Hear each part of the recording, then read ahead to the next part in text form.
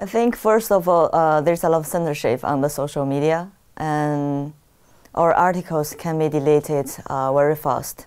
But actually, the uh, internet police they have their uh, schedule on duty, so they cannot delete every article, and they can only delete those articles after we already posted. Uh, sometimes it's uh, few hours, or sometimes it's uh, few days. So I think the uh, the social media or the new media is a is a new thing for the Chinese social movement. And um, even though we uh, face the severe censorship, it's uh, we still have a lot of space and opportunities to spread what we're going to say, and uh, to spread our goals and trying to use the social media to mobilize the young people to engage in this moment. The second is about there's uh, because in China, in this very patriarchal society, we have a lot of uh, a very misogynist uh, sentence or word or discourse on the, on the new media, social media. So we have to deal with it, and we have to raise the public, public awareness, especially for the young people, about what is gender equality, why uh, gender traditional stereotypes is not right. And we can see there already a bunch of young women, they are very active on the social media. And they fight against those issues who have a strong connection about their own family, like marriage. Uh, if a women enter into marriage, it will be, it will be very uh, uh, unequal relationship uh, during the whole family. So we social media is a tool, and we what we have to do is use it in a positive way and find the space.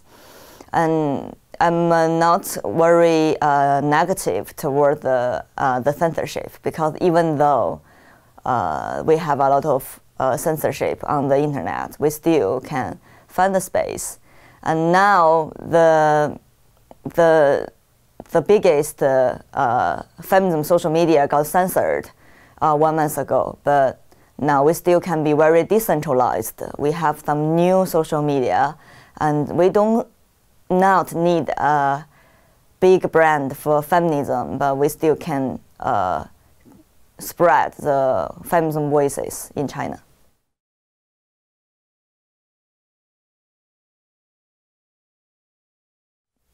In 2018, I think the Me Too campaign started from uh, individual case of Luo Qianqian.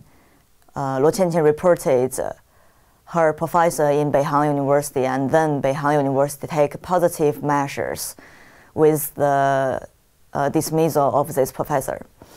I think this is a good signal for the anti-sexual harassment campaign in China, even though uh, we don't talk a lot in the education system we, uh, about sexual harassment. But I still think uh, now the young women they are going to play a very important role voluntarily. I think uh, this is very important because in the past we uh, organized a lot of actions, including Bloody Bride for anti-gender-based violence, and also occupying the men's room for call for the more rooms, more bathrooms for women this sort of actions or uh, workshops, we all trying to find more uh, young women who are interested in this feminism moment. So three years I, I, after the unpredictable detention in